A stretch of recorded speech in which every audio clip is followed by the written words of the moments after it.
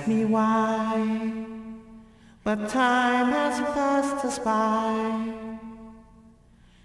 Someone else moved in from far away.